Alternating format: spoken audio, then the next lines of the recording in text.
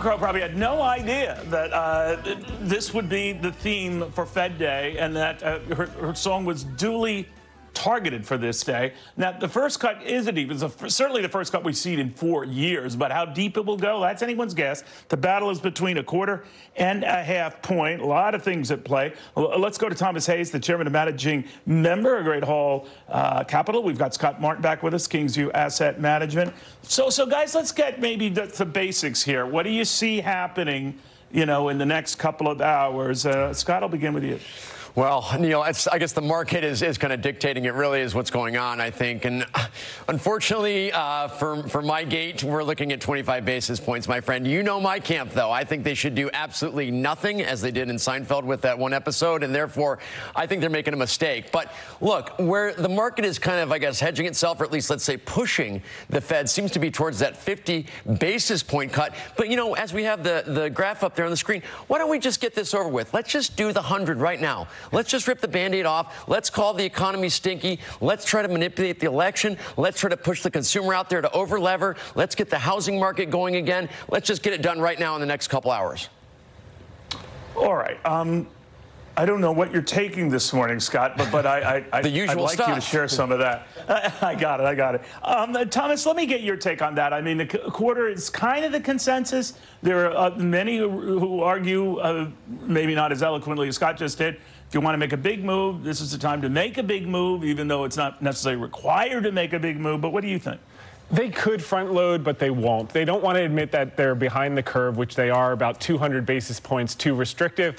And they don't want to imply that they're interfering with the election. So we're going to see 25, and we'll potentially see some talk uh, that will be dovish towards 50. The market's expecting about 100 basis points or more of cuts before the end of the year. I think that's basically where they're going to go. As for the markets, I think the first move is often the wrong move. So if we rally today, I'd be a little more cautious tomorrow. If we sell off today, uh, it may be a buying opportunity tomorrow. But there's a lot of negativity coming into this. Everyone's worried about the worst two weeks of the year September coming up. Uh, election year jitters. Usually you have weakness in October before the election. So I think the, the stage is set. People have already loaded into defensive stocks like utilities. Uh, we may get surprised and the market could potentially go up in coming weeks, which would surprise a lot of mar market participants. You know, I don't know the history, guys, about what happens when the Fed finally acts on an anticipated, let's say in this case, rate cut. But I would be curious, Scott. Let's say it's uh, it is a half point today, uh, unlikely though it might seem, but I, I could be wrong.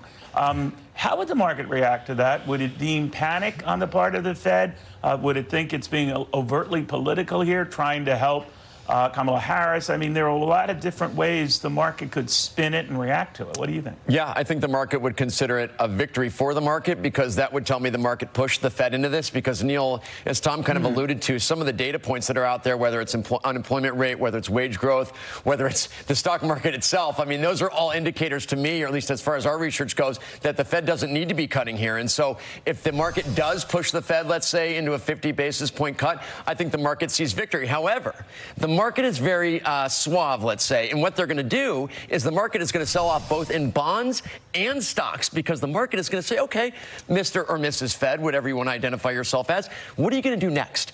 And the market is going to be in a bad, jittery mood going into the next cut and go down to the next cut because it wants the Fed to keep following the market's mantra, which is more cuts.